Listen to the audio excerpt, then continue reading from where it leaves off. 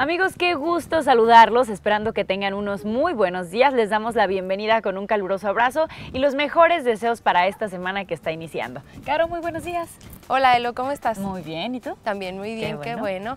Este, bueno, pues muy buenos días a todos en casita, en el trabajo, oficina o donde se encuentren. Estamos felices de recibirlos y entusiasmadas porque tenemos un excelente programa para todos ustedes. Así es, Caro, una gama de temas variados, interesantes y muy divertidos, todo hecho especialmente para ti, que domingo a domingo te unes a la gran familia Tu Día.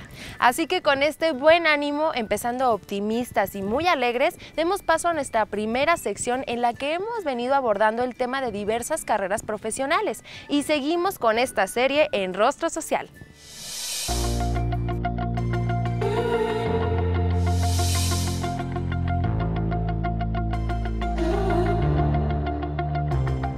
Damos seguimiento en Rostro Social a nuestra serie de temas en agosto sobre carreras profesionales, en especial porque el programa Tu Día considera que una decisión bien pensada puede asegurar toda una vida de éxito.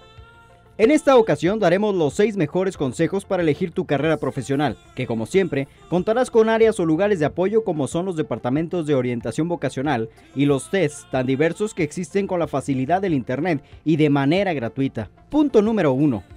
Es importante que conozcas cuáles materias se te facilitan y cuáles no. La secundaria y el bachillerato te han dejado casi despejado que tienes facilidad para la historia y biología, pero las matemáticas no son tu fuerte.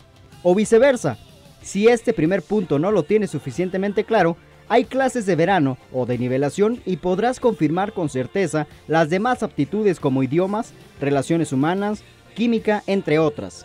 Punto 2. Revisa el plan de estudios de la carrera que estás a punto de iniciar. En este se desarrollan las materias semestre por semestre. En muchos casos, los jóvenes egresados de preparatoria eligen una carrera por el nombre, pero desconocen que llevarán tres años de matemáticas, álgebra y cálculo. De ahí que se provocan las deserciones escolares. Punto 3. Siempre asegúrate que la institución esté inscrita y aprobada por la Secretaría de Educación. Esto evitará sorpresas, sobre todo algunas universidades que experimentan con las primeras generaciones y luego desaparecen. Otras se proponen online y también desaparecen sin asegurar la conclusión de tu carrera y en consecuencia la validez de tu título de licenciatura. Punto 4. Tienes derecho a investigar y solicitar si la institución tiene apoyos económicos en algunos proyectos específicos.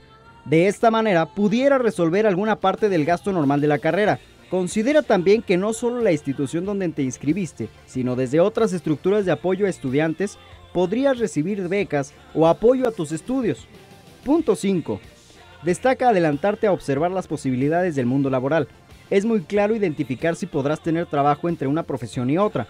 Este aspecto es muy determinante y los padres de familia tienen una mejor visión para aconsejar, preguntar y tomar la mejor decisión siendo sensatos. Punto 6. Cualquier profesión que elijas nunca estará de sobra tres elementos importantes. El deporte, un idioma adicional y relaciones humanas. Estos tres elementos darán el plus a la decisión que hayas tomado. En Rostro Social seguiremos ampliando en el próximo programa las opciones de estudio con respecto a las habilidades naturales de tu perfil personal.